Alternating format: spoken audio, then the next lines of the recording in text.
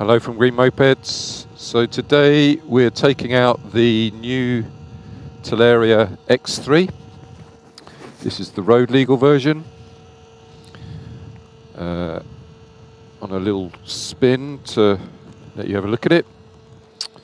Um, from the outset, I don't know if anyone's old enough, but think Raleigh Grifter, and this is sort of like the bike that I'm riding right now. It feels like something from the 80s, like a push bike. Um, for those of you who don't know, a Raleigh Grifter was uh, a little sort of Sur-Ron-esque looking bike from the 80s, push bike. And uh, this must be about the same size as that. It's quite uh, remarkable.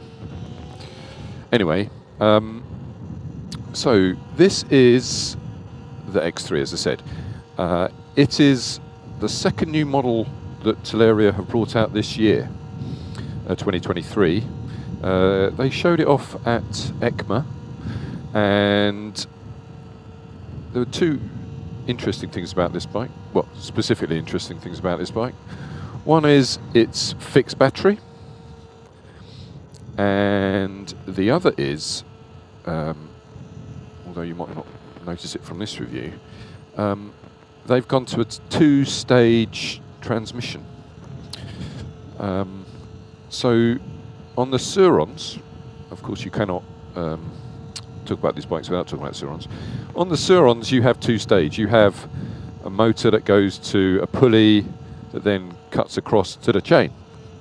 And all other Talarias don't do that, and it was one of the arguments for being uh, for having a Talaria, technically speaking, was that they got rid of the pulley, which was uh, somewhat of a weak link with the Sur-Rons because the pulley used to break.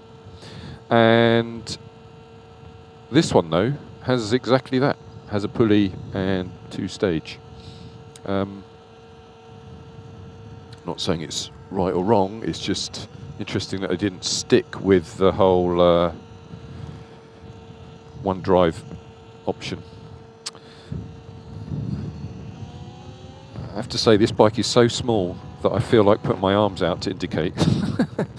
it's quite funny.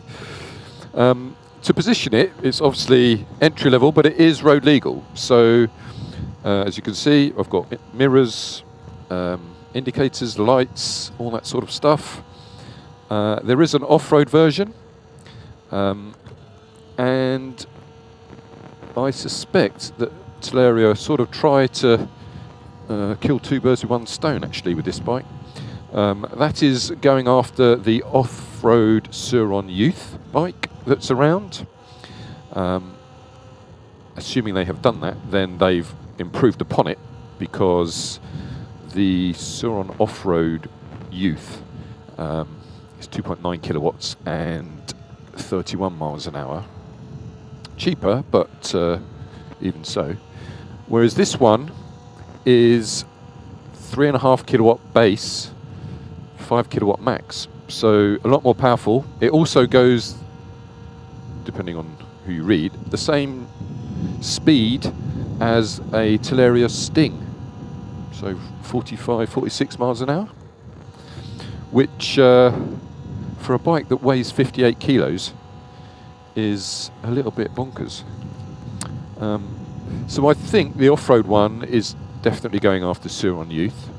Uh, we're just about to get one of those in, so it's, although it's a bit unfortunate that um, can't put it side by side, but uh, yeah, the that definitely seems to me to be one of their target markets. And the other one is obviously just having another Talaria on the road that is lower cost even than the Sting, um, but with a fixed battery.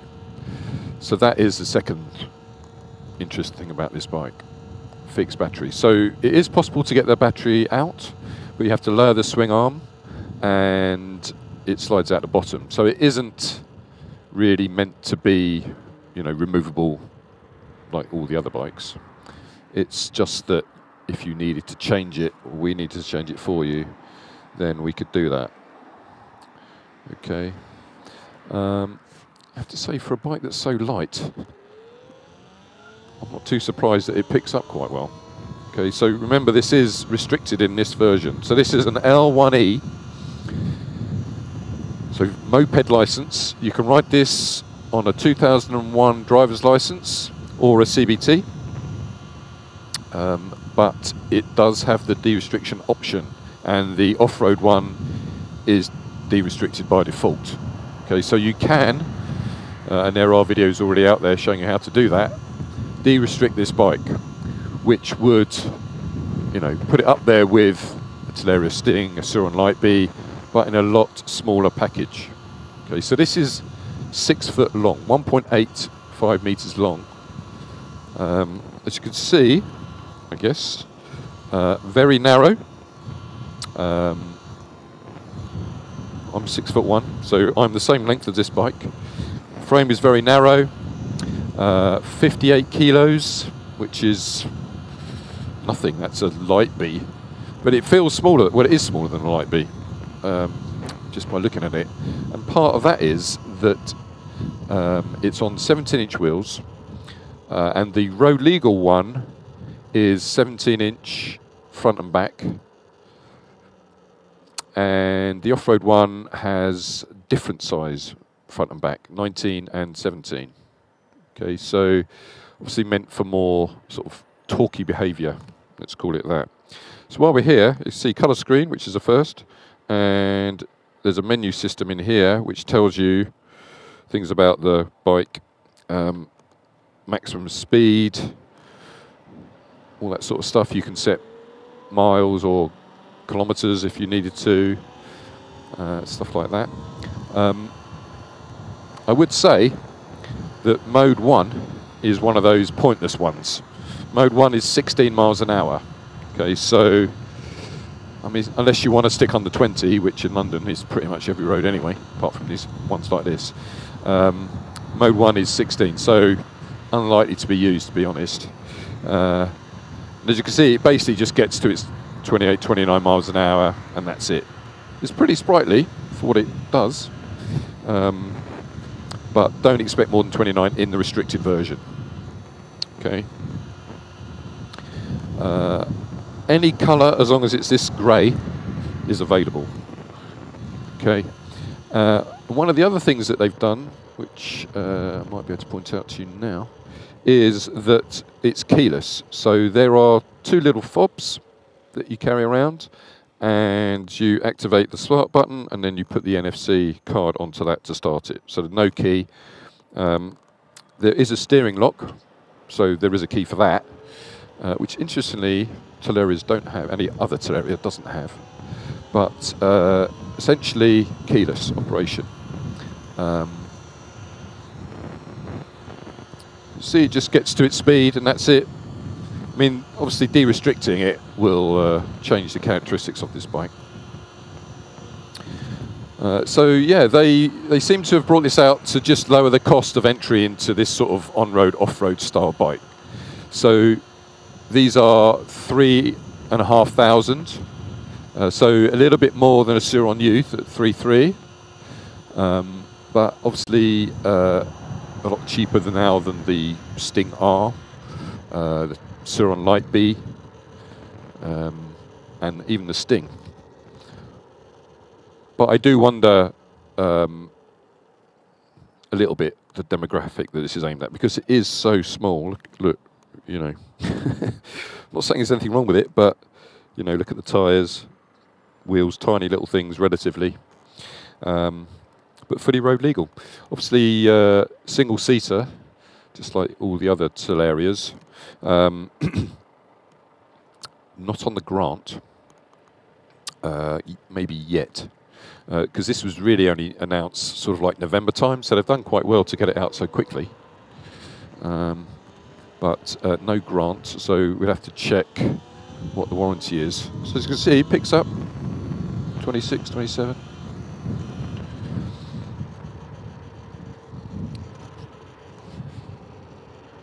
I said, I keep feeling like I want to put my arm out. anyway, so there's not too much more to say about this bike other than the obvious things that you want to know. So uh, it's got a 60 volt, 40 amp hour battery. So that is the same as the latest light Lightbees. So 2.4 kilowatt hours of power, uh, four hour charging. They quote 50 mile range, um, but let's say more like 40, I would say. Um, an interesting little stat that's coming up on the dash right now is your consumption down there 33 watt hours per mile. So it would be interesting. I mean, this is flat out, remember? So I'm using 33 watt hours per mile. So you could literally do the maths and work out the range based upon that. Okay, that's, as you see now, it's gone to 32. It's not totally dynamic, I don't think. Okay, so you could literally do maths on, and work out the uh, ultimate range of this bike. Um, so four hour charging, 40, 45 mile range, three and a half thousand pounds, silver only, small, um, keyless, but still a Talaria. So this could be an ideal first bike for you know students getting to college. Um, you could buy a couple and put them on the back of a camper van. They're so small, 58 kilos. So most uh, camper vans have uh, you know like a 100 120 kilo limit. So you could easily get two of these in the back of a camper van. And uh, yeah, it's uh, I guess it's a fun little bike, especially if you de-restrict it, which uh, we will look at doing. All right, so uh, I hope you found that brief introduction useful. Uh, obviously, these are quite sought after at the moment. Um, but if you want to organise a test ride, then uh, please let us know. We're in uh, West London. Um, if you have any questions, please feel free to contact us at hello at green-mopeds.com please feel free to contact us through any of the other channels that we have and subscribe to our YouTube channel, Green Dash Mopeds. And thanks very much.